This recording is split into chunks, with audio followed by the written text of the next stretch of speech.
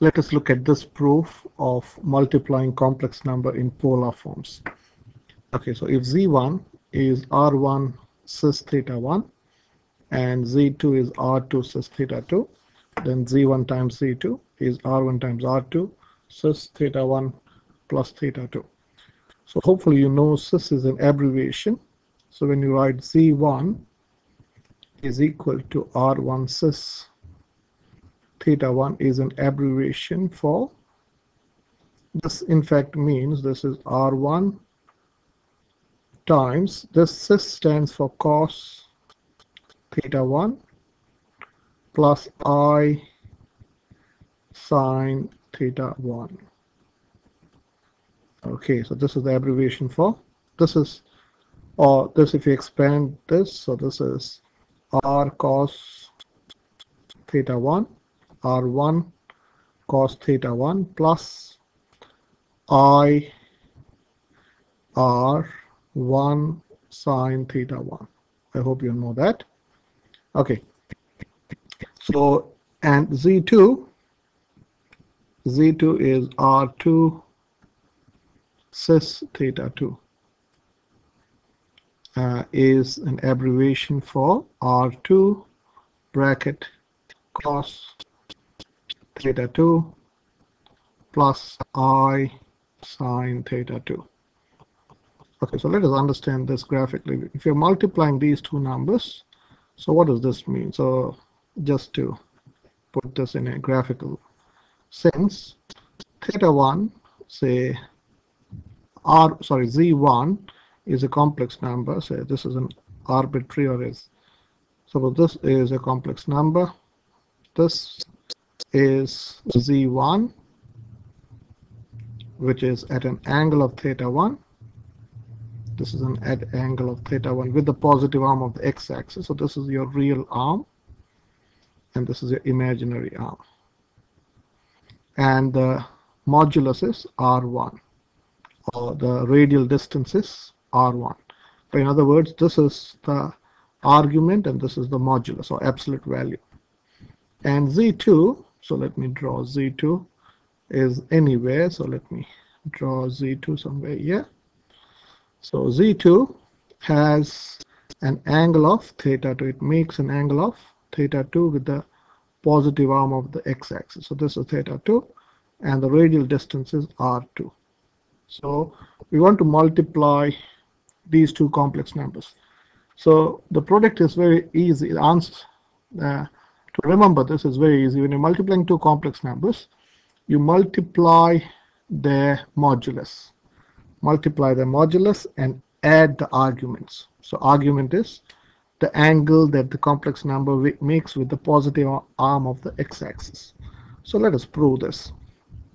So z1 times z2 is equal to r1 so I'm directly writing r1 times z1 is r1 cis theta 1 so can I write this as cos theta 1 plus i sine theta 1 times I'll put a dot here r2 times cos theta 2 plus i sine theta 2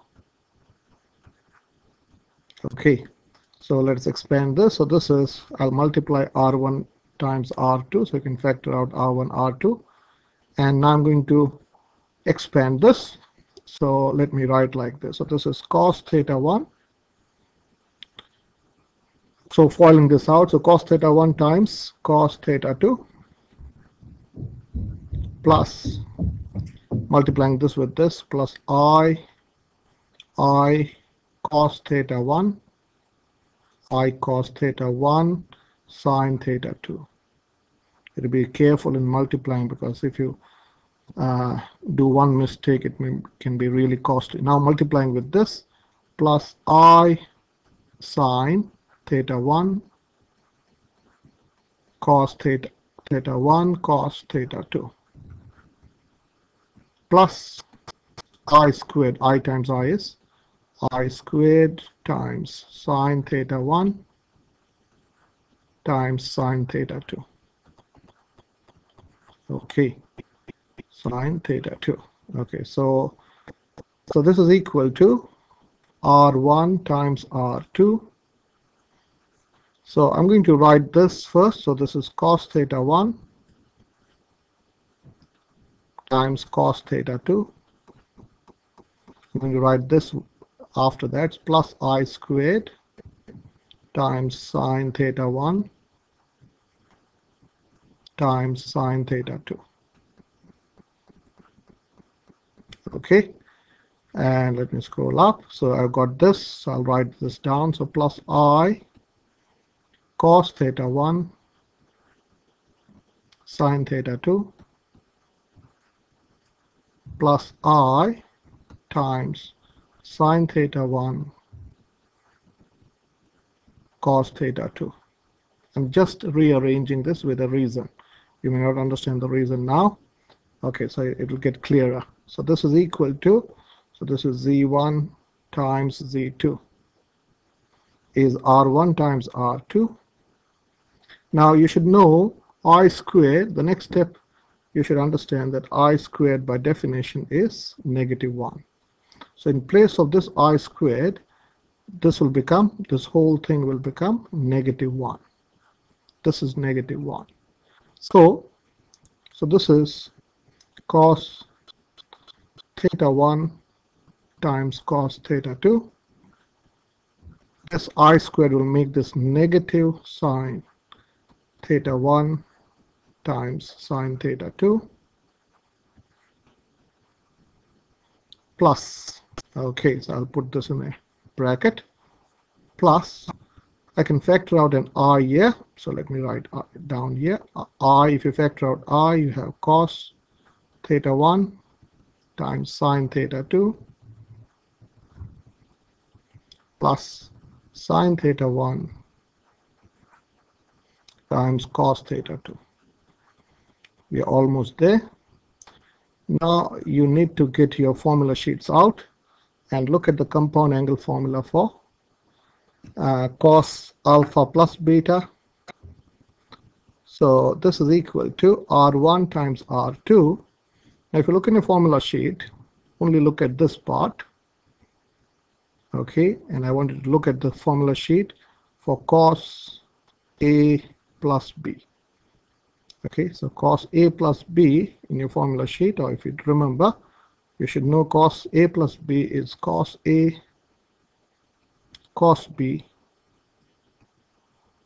minus sine A sine B.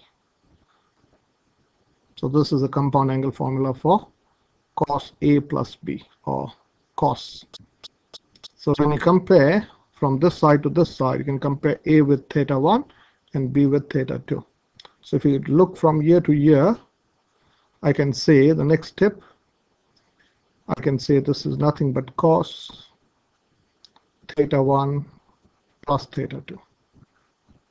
Okay, so let me use a different color now. So now, if you look at this, if you look at this, and if you look in the formula sheet for sine A plus B, sine A plus B will tell you this is sine, uh, okay, so I should have written, okay, so this is nothing but sine A cos B, formula says sine A cos B plus cos A sine B cos A sine B. So this is slightly tricky to see. So you're comparing A with theta 1 and B with theta 2. So can you see sine this is sine A cos B plus cos A sine B. So I should have written this in the other way around. So it doesn't matter. I hope you can see this. So this is changes to plus I sine theta 1 plus theta 2 plus theta 2 and therefore I can say z1 times z2 is equal to r1 times r2 and this is you can abbreviate this so this is nothing but cis this is cos theta 1 plus theta 2 plus i i sine theta 1 plus theta 2 is nothing but cis theta 1 plus theta 2. Now, how can we use this? So let us let me take a simple example.